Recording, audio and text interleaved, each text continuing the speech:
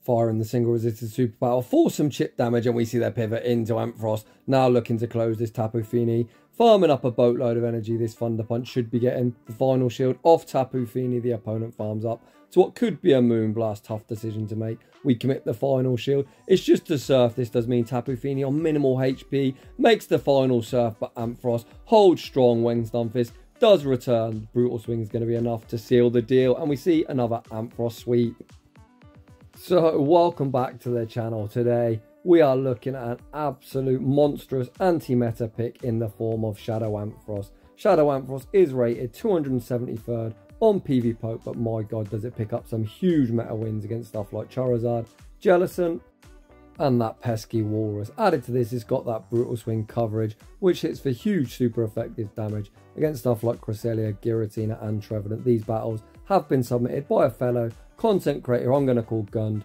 for the duration of the video. I'm going to link his channel down below. Make sure you go check it out. And in game one, we see the absolute nightmare lead. Dragonite into Tapu Fini. We pivot into Drapion. The opponent answers with Obstagoon Drapion, a channel favourite here. We always rep Sludge Bomb, so it'll be interested to see how Aqua Tail fares in the Open Ultra League. On Aqua Tail, I do believe we're going to get pretty hard beat in this matchup. You'll also notice Gund must be repping a PvP IV Drapion as my Drapion never loses CMP to Obstagoon and I use a Hundo, we fire off the Aqua Tail. We make one final Aqua Tail, unfortunately, with non-stab. This isn't going to be enough to knock out but Drapion on any moves that seems to fare fairly neutral against Obstagoon. We don't manage to take the opponent out. We can come in though with Dragonite, commit to the Dragon Breath farm down, and it's going to be looking at two Shield Ampharos to clutch out this game. Obstagoon fires off the Night Size Dragonite, does tank it. We commit to the farm down, back out. Comes Tapu Fini. We are going to go for the single resisted superpower on a CMP tie. So not only do we get some chip damage, the opponent dumps energy. Gund going to be allowing this charge move to go through as we know the win con lies in Ampharos. Can Ampharos close? We pivot out and it's Drapion in the back. Gund going to go straight for the Thunder Punch. Thunder Punch is neutral and going to do some nice chip damage. The opponent commits the first shield and we sneak an entire free Volt Switch. Gund not going to shield the first move in case the opponent gets the debuff. We are now over farming, firing off the next Thunder Punch. If Drapion doesn't shield this up, we might be able to Volt Switch down the opponent. Lets it go and again we sneak. Holy smokes. Ampharos looking prime now to sweep this game. The opponent full sends the crunch. Gund looking for the farm down and we get it. We're now only one Volt Switch away from the back-to-back -back Thunder Punches. Tapu Fini is going to shield this up. They're pretty bulky, but the question's going to be, can they survive a stab Thunder Punch? It's moment of truth time, and Ampharos manages to clutch up game one. Very nicely done. And we're off to a very nice 1-0 start, moving into the next battle. I don't know if that's some visual lag. That's how the battles were sent to me. I've got no idea. Well, we didn't get the 3-2-1, but either way, Gund gonna tank the first rock slide. It does hit Dragonite for super effective, however, as we're a flyer. There's no chance of us getting Mudshot down. We're now going for the bait and the opponent craps their pants, shielding up a potential superpower Gund, gonna match shields. As we have successfully masturbated, we are going to be able to outpace to the superpower. The opponent attempted to catch the superpower on Cresselia, but we're far too smart. We pivot out into Drapion. Drapion has a favourable matchup against Cresselia. We get the debuff. This is going to mean the second crunch We'll knock out the opponent. It's going to go for the Future Sight. This probably means they're running Future Sight and Grass Knot good now over farms heavily. Fires off the crunch on a cmp tie. Fantastic counting. Crunch is either going to force the final shield or knock out the opponent lets it go.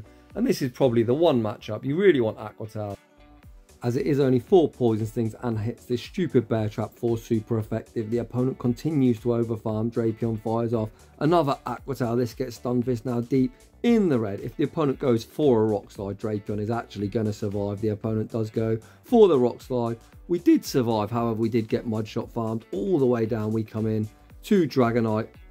The opponent pivoted into Tapu Fini. I personally would have held the superpower as in the end game, if we do see all shields down, Dragonite would win CMP against the Bear Trap. However, Ampharos still looking prime to sweep. The opponent commits the final shield on the Thunder Punch. They farm up to what could be a Moonblast. Tough decision to make. We call the Moonblast and it's a surf. So the opponent is going to make one final surf. Can we survive?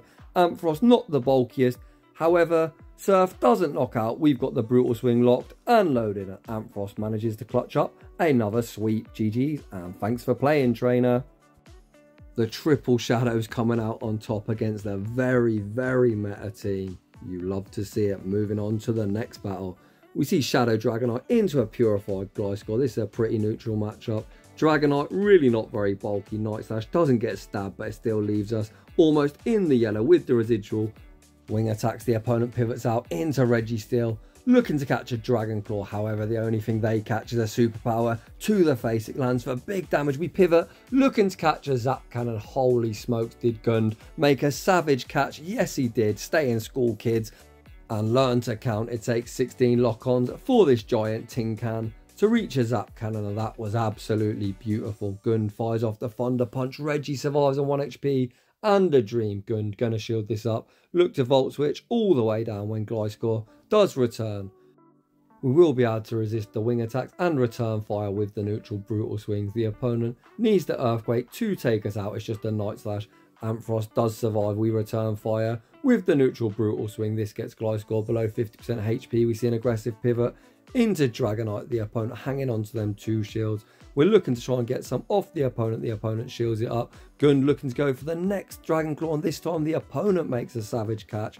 Catching the Dragon Claw on Jellicent. But this Jellicent will have a nasty surprise. We've got Drapion in the back. Jellicent does now at least have access to Surf. But Drapion pretty tick. Due to us resisting the hexes, they are going to have to land three surfs and that probably isn't going to happen. Gund fires off at immaculate timing. When you're using two turn versus three turn, you want to fire off at one, four, or seven. The opponent lets it go, and then they just concede the match. Really nice gameplay from both trainers there. I love the Ultra League. As Monarch pretty thick, you can pivot in and out of matchups. Moving on to the next battle, League Dragonite into Machamp. The opponent pivots out into Melmetal. We stay in. Gund gonna probably shield the Rock Slide. He actually doesn't, and holy crap, that does huge damage. You can see Melmetal a lot more attack weighted than something like a Stunfisk because we near get one shot. Gund returns fire with the superpower. We now get shield advantage and pivot into Ampharos. The opponent throws at really poor time and we sneak an entire Volt Switch. The opponent fires off the Rock Slide. Ampharos does tank that. We now fire off the Thunder Punch on a CMP tie, unlike our opponent, Gund throwing at really nice timing. Thunder Punch doesn't knock out again, surviving on 1 HP and a Dream, which is pretty brutal. Gund going to invest a Protect Shield. We managed to Volt Switch farm all the way down. Machamp is Energy Dry Machamp, not known for its bulk. Out comes Machamp. It's some Shadow on Shadow Crown. The opponent going to be forced to shield or be left pretty low. The opponent lets it go. They look to counter farm us all the way down and Ampharos going on an absolute tear up. Thunder Punch secures the knockout. The opponent's final Pokemon is a Walrus and holy smokes. Gund gonna have to either call the bait or make a catch. We farm up fire off the crunch. Walrein won't be shielding the first one in case we get a debuff. The opponent lets it go. Good looks to catch. Holy crap. Stay in school, kids. Learn to count. The opponent was baiting, but we still do make a savage catch.